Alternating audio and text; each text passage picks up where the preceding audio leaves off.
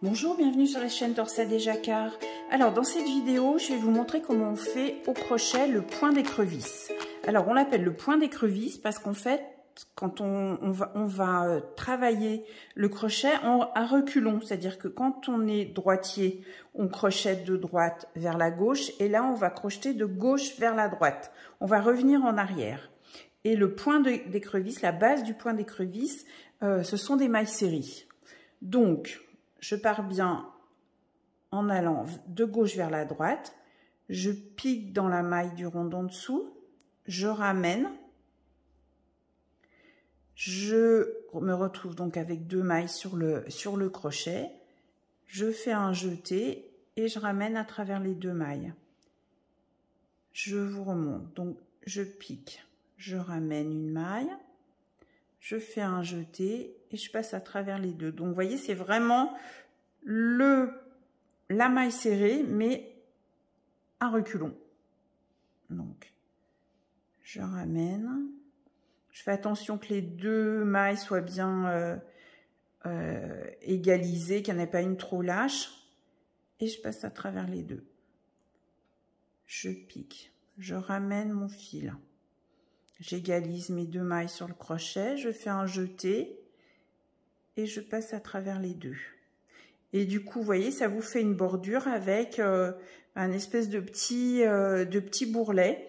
Euh, l'avantage de ce point écrevisse, c'est que c'est un, petit peu élastique. Du coup, c'est vraiment l'idéal pour faire des bordures.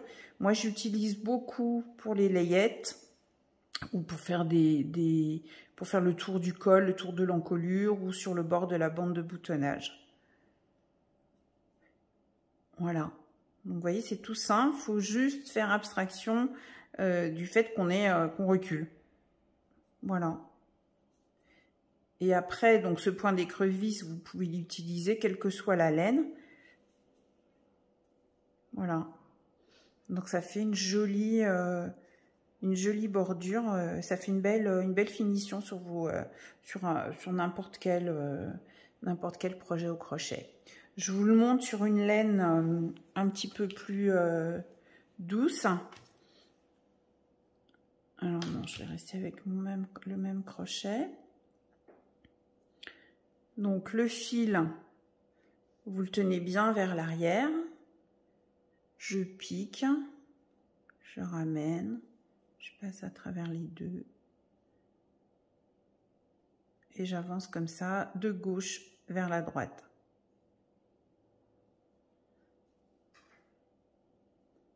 Ce qui est important, c'est d'avoir bien toujours le fil, le fil derrière. Voilà. Et vous voyez, ça fait aussi une jolie, euh, une jolie bordure. Voilà, vous voyez, c'est tout simple, le point d'écrevisse, et c'est vraiment un point très utile.